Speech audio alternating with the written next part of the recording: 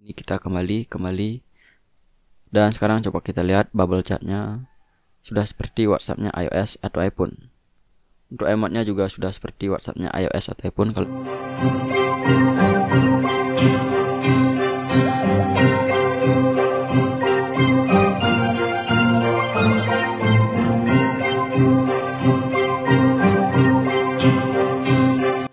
Halo semuanya, balik lagi di channel Kono X Akor. Pada video kali ini saya akan memberikan kalian WhatsApp Watusi yang paling worth it dipakai di tahun 2022 dan juga ini WhatsApp sudah anti kadaluarsa.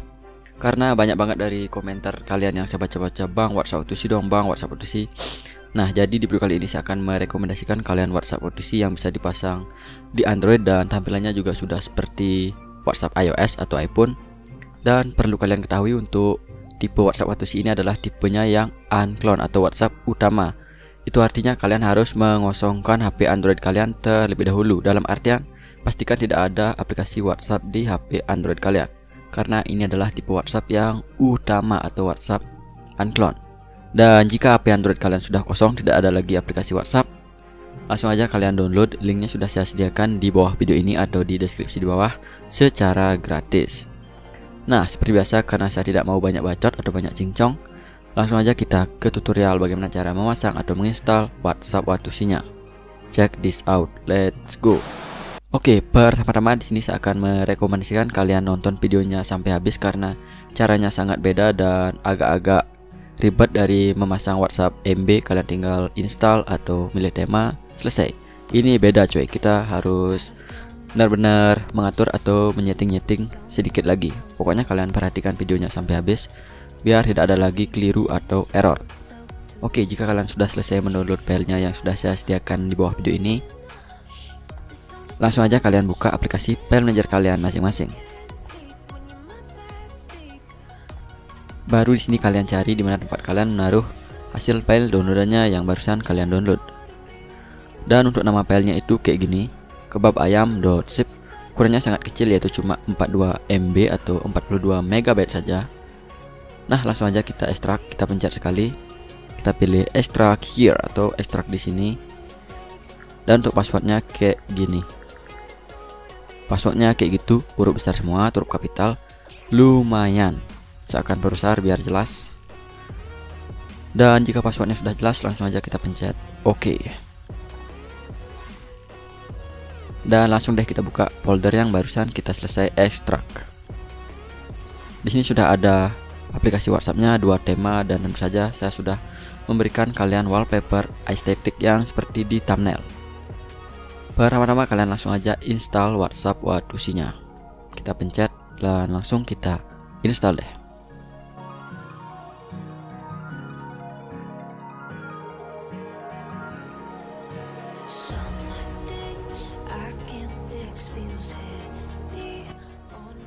Dan jika aplikasi WhatsAppnya sudah terinstall atau sudah terpasang kayak gini, langsung aja kita buka atau open.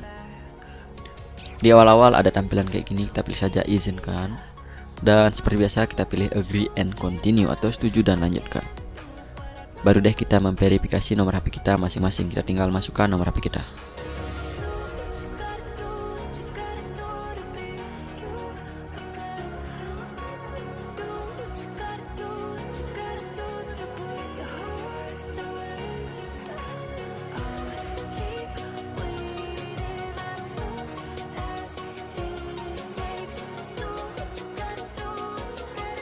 Dan jika kalian sudah selesai memverifikasi nomor HP kalian, ada notif kayak gini, kita pilih saja continue atau lanjut.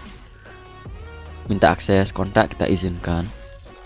Dan seperti biasa, jika kalian ada chat yang penting atau percakapan yang penting, kalian bisa pilih restore atau pulihkan. Jika tidak, kalian bisa saja skip atau lewati. Kita pilih skip atau lewati. Dan baru deh kita tinggal memasukkan nama kita. Pertama-tama tampilannya kayak gini belum seperti WhatsAppnya iOS atau iPhone. Kalian jangan khawatir, caranya cukup mudah. Kalian tinggal pencet di pojok kanan atas yang saya lingkari atau tandai. Nah, baru di sini kalian pencet setting mode. Baru di sini kalian pencet yang tema yang di bawah kontribusi.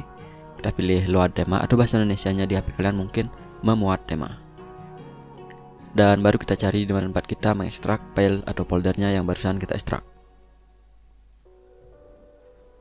Di sini saya akan pakai tema yang putih. Kita pilih close atau keluar.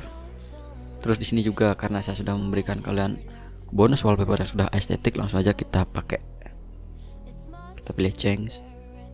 Langsung aja kita gunakan wallpaper aestheticnya. Perlu kalian ketahui juga untuk bubble chart atau gelembung chartnya belum seperti WhatsAppnya iOS atau iPhone. Caranya biar seperti iOS atau iPhone sangat sangatlah gampang atau mudah. Sekarang saya akan coba pakai chart dengan WhatsApp saya yang satunya. Nah, tes kayak gitu. Di sini kalian sudah bisa lihat untuk gelembungnya masih seperti WhatsAppnya Android. Sekarang kita ubah ke gelembung WhatsApp iOS atau iPhone. Pencet di pojok kanan atas lagi, kita pilih setting mode. Baru di sini kita pilih antar muka pengguna Terus di sini kalian pilih style look and feel. Dulu dulu yang all WhatsApp iOS. Untuk emojinya ini terlebih dahulu. Yang nomor dua ya cuy. Biar nanti emot atau emoji WhatsApp kalian seperti iOS atau iPhone. Jika sudah kita langsung pakai, kita kembali. Kita kembali. Baru di sini kita pilih yang chat. Kalian pilih bubble and text.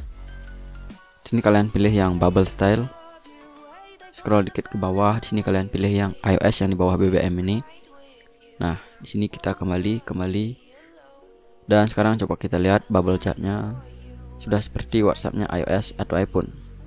Untuk emotnya juga sudah seperti WhatsAppnya iOS atau iPhone kalian sudah bisa lihat.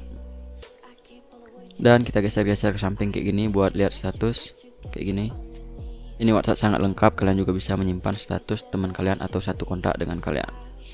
Dan oke okay, mungkin segini aja untuk tutorial kali ini. Buat kalian yang kurang paham atau kurang mengerti bisa komen di bawah atau bisa juga komen di IG saya. Saya sudah sertakan nama IG saya di samping di pojok kanan bawah. Dan mungkin segini aja untuk tutorial kali ini. Sampai jumpa di next video and saya cabut seperti biasa. Goodbye.